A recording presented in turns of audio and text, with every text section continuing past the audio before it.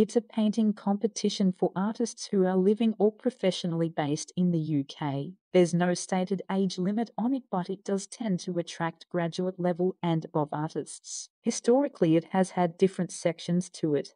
There was, in the 60s, a sculpture section, but that was phased out, and that certainly now we're dealing with works that are in, as the rules state, any painted medium. Some of the works, if you look in detail what's in this exhibition, incorporate things like collage, inks, watercolors, for example.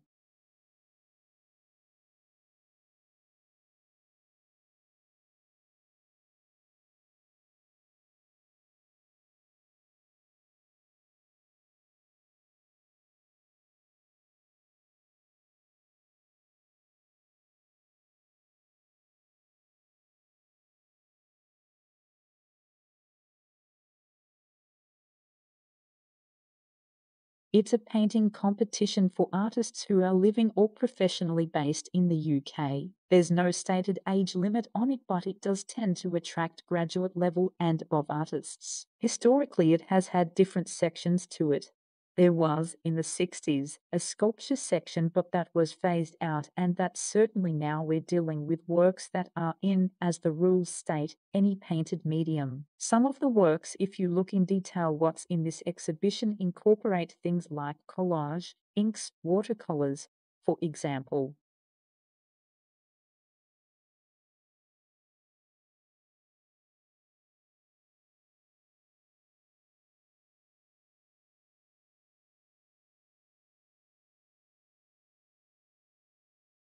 During the past week, NPR has been reporting on the growing income gap in America. Economists say one big reason for the widening divide is the steady loss of manufacturing jobs. As more and more U.S. companies move factory jobs overseas, people who lack skills and education have trouble making a decent living. When the Carrier Air Conditioning Company shut down its Syracuse, New York plant in 2004, 1,200 jobs were lost. The current financial state of the laid off workers depends on their skills, age, and degree of determination.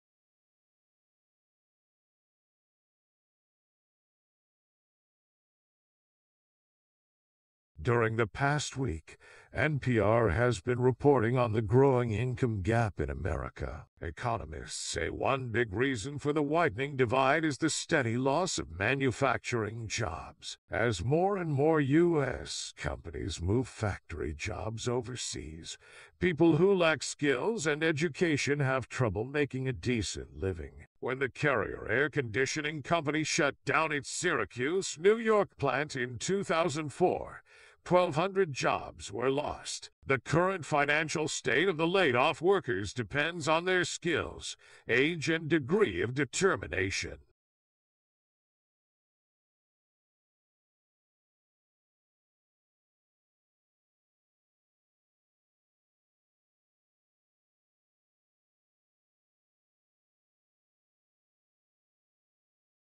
For many years, the favorite horror story about abrupt climate change was that a shift in ocean currents could radically cool Europe's climate. These currents, called the overturning circulation, bring warm water and warm temperatures north from the equator to Europe. Susan Lozier, an oceanographer at Duke University, says scientists have long worried that this ocean circulation could be disrupted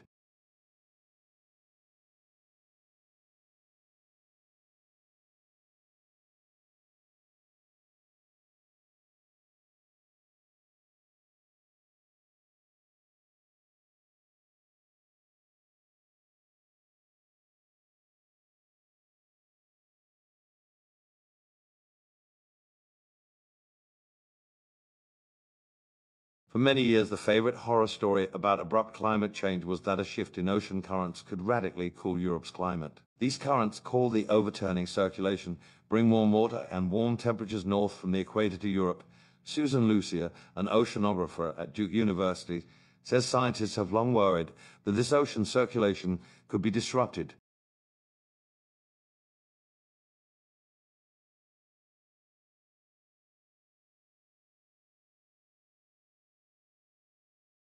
Laurence Stephen Lowry was an English artist. Many of his drawings and paintings depict Pendlebury, Lancashire, where he lived and worked for more than 40 years, and also Salford and its surrounding areas. Lowry is famous for painting scenes of life in the industrial districts of northwest England in the mid-20th century. He developed a distinctive style of painting and is best known for his urban landscapes peopled with human figures often referred to as matchstick men. He painted mysterious and populated landscapes, brooding portraits, and the unpublished marionette works, which were only found after his death.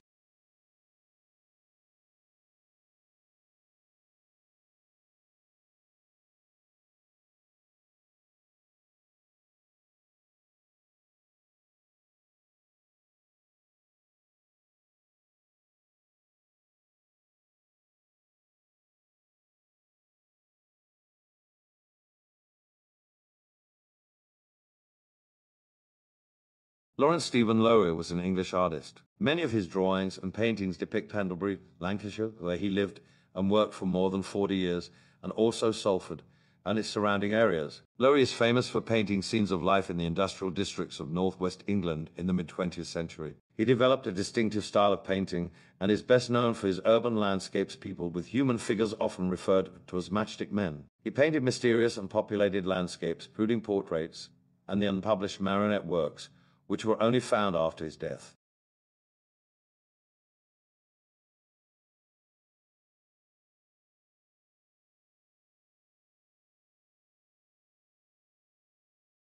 Working together, they figured out that if the government was going to propose some kinds of significant tax increases, which is a good strategy, quite me to at least tie something like getting something for those big tax breaks, not seeing any results. So the result of that was in the package of legislation that included the tax increases. There was also information to have significant expansion of coverage families where they can buy into their private insurance.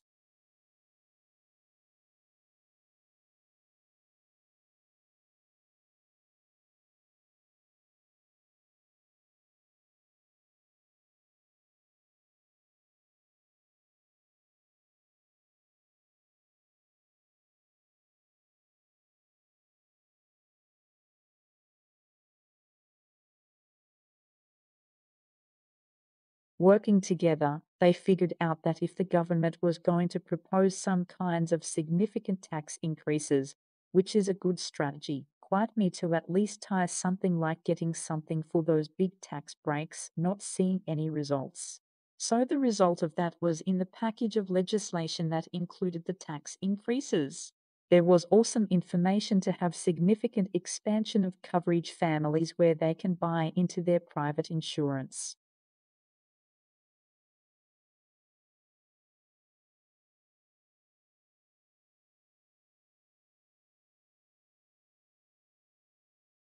If you're a senior citizen, music in the background may be distracting, but for younger people, experts at multitasking, it's apparently no big deal. That's according to a study in the journal Gerontologist. Researchers recruited 103 people, half between the ages of 18 and 30, the others between 60 and 75. The volunteers then took part in memorization exercises and a drill where they had to quickly match a photo of a face with the same face in an array of unfamiliar faces. Some participants did the exercises in silence. Others performed the tasks while listening to white noise or instrumental jazz, blues, classical, and electronic music. Across age groups, the consensus was that the background sound was distracting, but only older people's performance suffered when the noise was present. For example, older folks who did the face matching with music playing remembered 10% fewer faces. The result matches up with the theory that the elderly are less able to filter out what's called distracting task relevant information. In this case, the distracting info might have interfered with them storing the facial image in the first place, much less impeding their ability to remember it a short while later.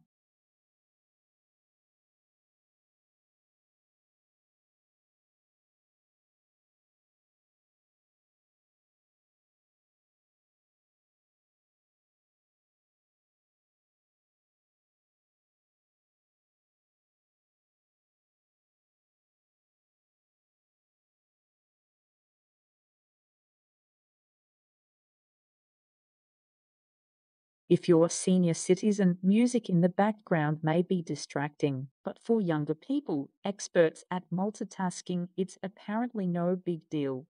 That's according to a study in the journal Gerontologist. Researchers recruited 103 people, half between the ages of 18 and 30, the others between 60 and 75.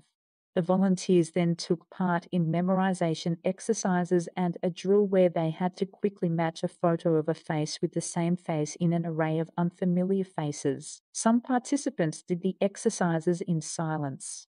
Others performed the tasks while listening to white noise or instrumental jazz, blues, classical, and electronic music. Across age groups, the consensus was that the background sound was distracting, but only older people's performance suffered when the noise was present. For example, older folks who did the face matching with music playing remembered 10% fewer faces. The result matches up with the theory that the elderly are less able to filter out what's called distracting task relevant information. In this case, the distracting info might have interfered with them storing the facial image in the first place, much less impeding their ability to remember it a short while later.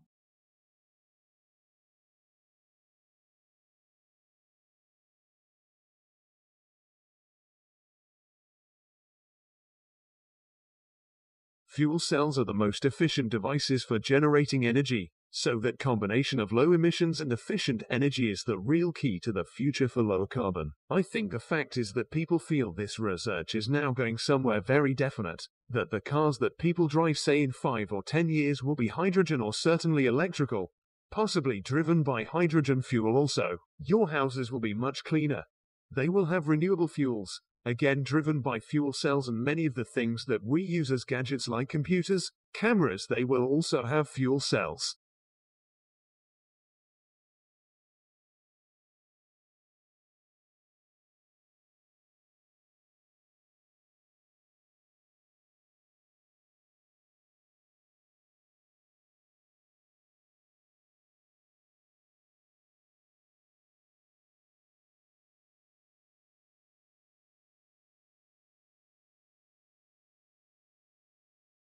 Fuel cells are the most efficient devices for generating energy, so that combination of low emissions and efficient energy is the real key to the future for low carbon. I think the fact is that people feel this research is now going somewhere very definite, that the cars that people drive say in 5 or 10 years will be hydrogen or certainly electrical, possibly driven by hydrogen fuel also. Your houses will be much cleaner. They will have renewable fuels, again driven by fuel cells and many of the things that we use as gadgets like computers, cameras, they will also have fuel cells.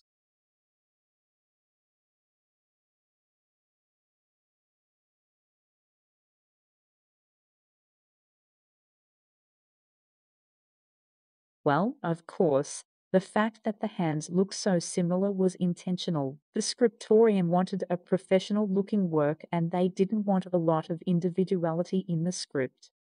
So, the primary objective of the original's writing in this manuscript was to make it look identical. As a matter of fact, because scribes are different people and they have different hand eye coordination and different habits, they ended up producing something that was slightly different which is not easy to tell to someone who hasn't been staring at the manuscript for a while.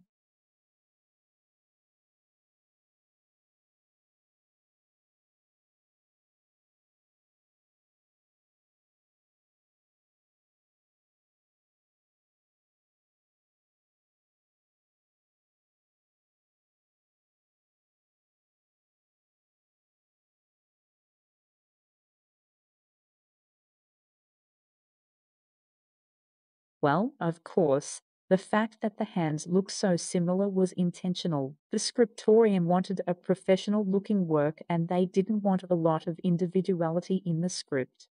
So, the primary objective of the original's writing in this manuscript was to make it look identical. As a matter of fact, because scribes are different people and they have different hand eye coordination and different habits, they ended up producing something that was slightly different which is not easy to tell to someone who hasn't been staring at the manuscript for a while.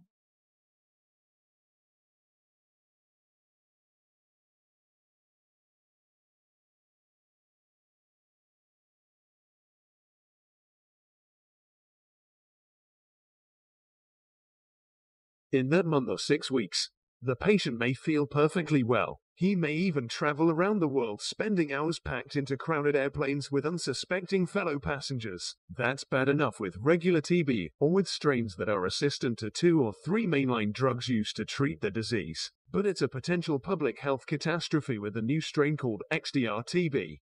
For extensively drug-resistant tuberculosis, the strain is impervious to a wide array of first and second line drugs. That's why 30% or more of its victims die. And that's why people like Lawrence Gostin are rethinking what public health authorities should do about people with suspected XDR TB in the weeks before the diagnosis is in.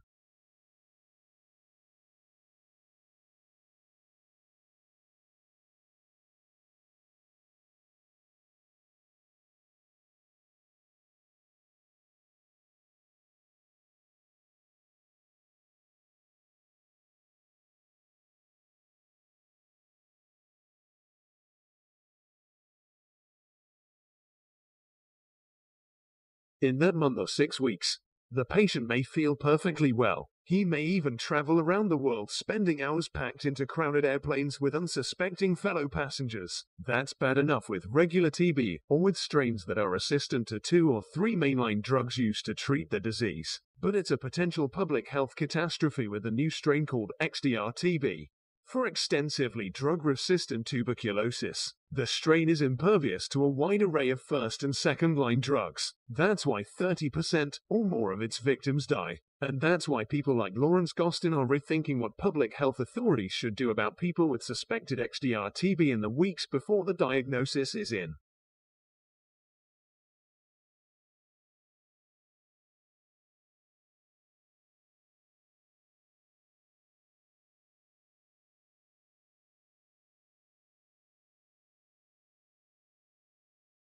Now that story's been scotched as only part of contingency planning, but it was a symptom of the dramatic turn of events in South Australia, and it flushed out other remarks from water academics and people like Tim Flannery, indicating that things were really much worse than had been foreshadowed even earlier this year. So is Adelaide, let alone some whole regions of South Australia, in serious bother, considering that the vast amount of its drinking water comes from the beleaguered Murray, something many of us outside the state may not have quite realized. Is their predicament something we have to face up to as a nation?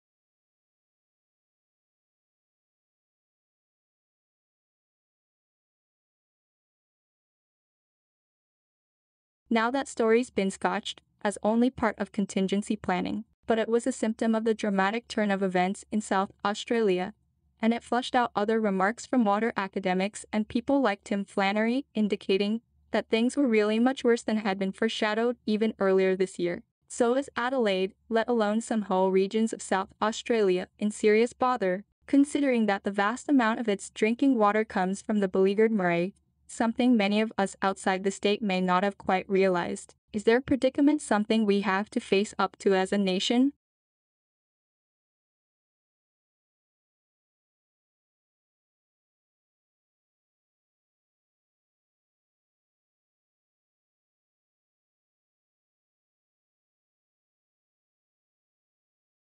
Certainly, I do think that by the end of this decade, the largest social institution in Australia will be single person households, so that the family, mum, dad, and the kids, is receiving in terms of market share.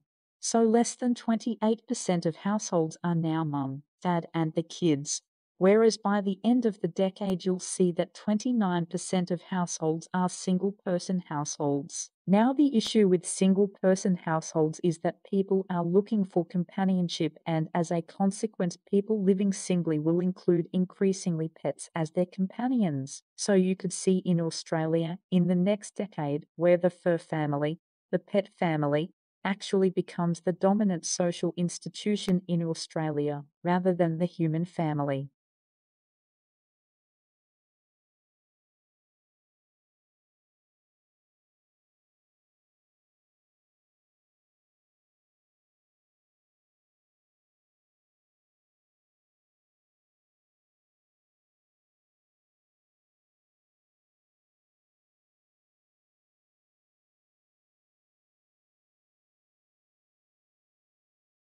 Certainly, I do think that by the end of this decade, the largest social institution in Australia will be single person households, so that the family, mum, dad, and the kids, is receiving in terms of market share.